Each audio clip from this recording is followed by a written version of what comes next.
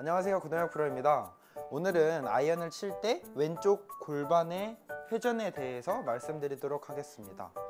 자 많은 분들이 왼쪽 골반의 회전을 궁금해 하시는데요. 여기서 측면에서 봤을 때 저희가 임팩트를 진행하고 나서 왼쪽 골반이 비켜지면서 스윙이 진행이 돼야 되는데 실수를 하시는 많은 분들은 골반이 그냥 옆으로 이렇게 밀리거나 아니면 오른쪽으로 체중이 너무 치우치면서 왼쪽 골반이 빠지는 상황들이 연출이 됩니다. 그래서 이 부분을 고치시려면 백스윙을 할 때 약간 뒤꿈치를 들었다가 밟아주면서 임팩트를 주게 되면 골반이 적당히 왼쪽 뒤로 빠지면서 회전을 쉽게 해줄 수가 있어요. 자, 아까 그래서 두 가지 잘못된 유형을 말씀을 드렸는데 우측으로 이동이 되면서 골반이 비켜지면 저희가 이렇게 깎아서 치게 됩니다. 약간 이렇게 비껴서 치듯이 이렇게 깎아서 거리가 안 나가고 슬라이스성으로 공이 많이 가게 되고요.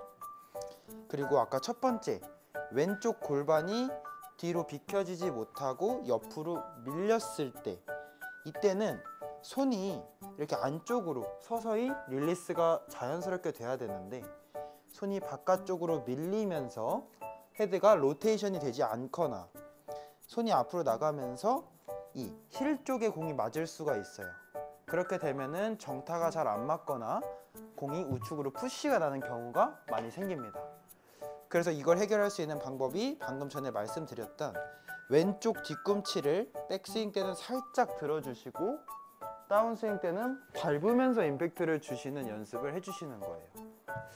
자 이렇게 되면 내가 굳이 어느 정도 양을 돌려야 되지 이런 계산이 필요 없이 그냥 적절한 나의 신체에 맞게 뒤꿈치를 들었다가 밟아주면 적당한 회전을 쉽게 찾을 수가 있습니다. 제가 이렇게 한번 연습해 볼게요.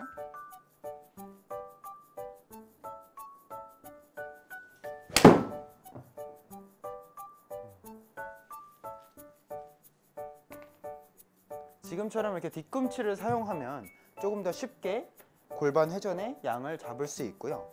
그리고 제가 아까 미스가 나는 두 가지도 한번 보여드릴게요. 실수가 나오면 어떤 현상이 나오는지.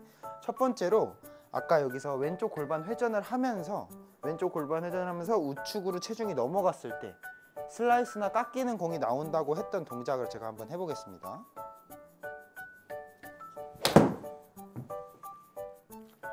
자, 지금같이 보시면은 공이 우측으로 이렇게 많이 휘어서 거리도 지금 한 50m 정도가 줄은 거를 보실 수가 있어요. 네, 그래서 이런 미스를 하게 되면 안 되고요. 그리고 두 번째 유형, 저희가 아까 왼쪽 골반이 옆으로 밀리면서 손이 바깥으로 밀려나가는 현상. 이렇게 되면 푸시나 생크가 날 수 있는 위험이 생기는 거죠. 한번 해보겠습니다.